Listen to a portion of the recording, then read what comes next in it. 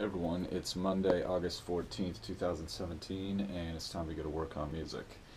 Um, let me know what you guys think of the 1.5x speed in the previous video. I realize just some of those talks in the middle or end of the video get really long, and I don't talk very fast.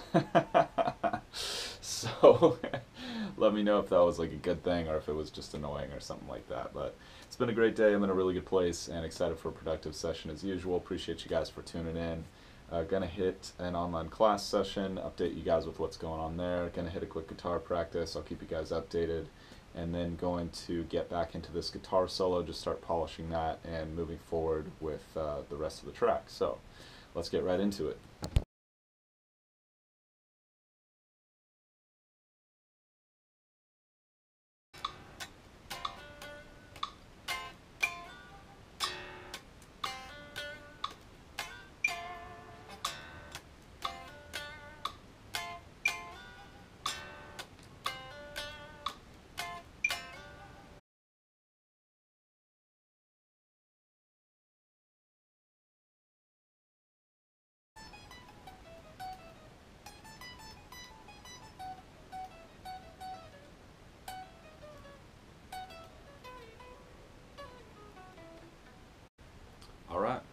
Good session.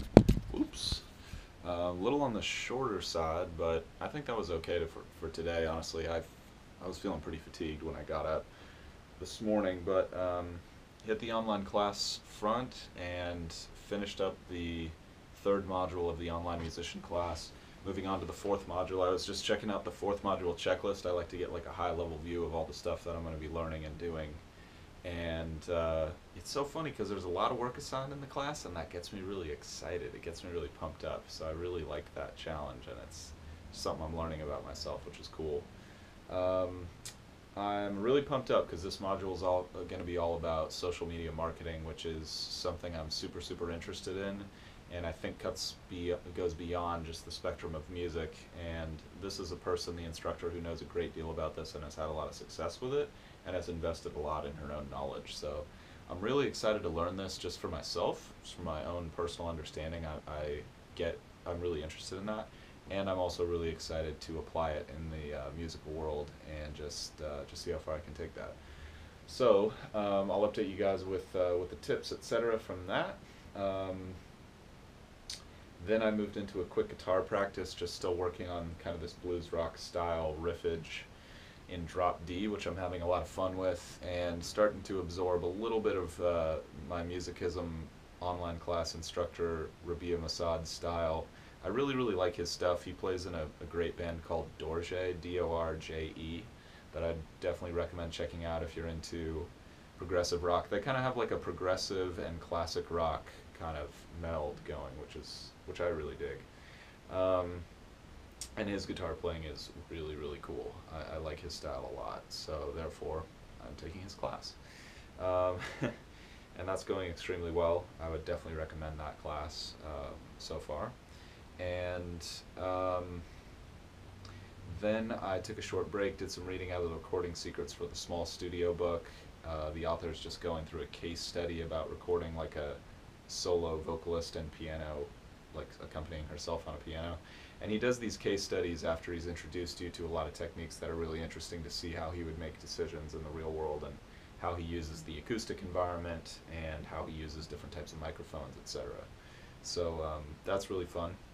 And then I just started working on this solo, um, this guitar solo again, and just taking some of the pieces that I had sketched out and put together on Saturday and uh, starting to connect the dots a little bit, get them to gel in my mind, just get the overall picture of the solo to uh, come together. And I made some good progress on that, even though I probably only worked on it for about 20 minutes or something like that. But a, a, focused 20 minutes, you know, over the course of a few days, that can take you pretty far. It's it's easy to think that that even 10 minutes or something like that isn't enough, but if you can get in the zone and get a couple things done, and then you can stay consistent, that's the key. Is just consistency over time. If you can stay consistent with it, um, you can make some pretty, you know, surprising gains. I think so.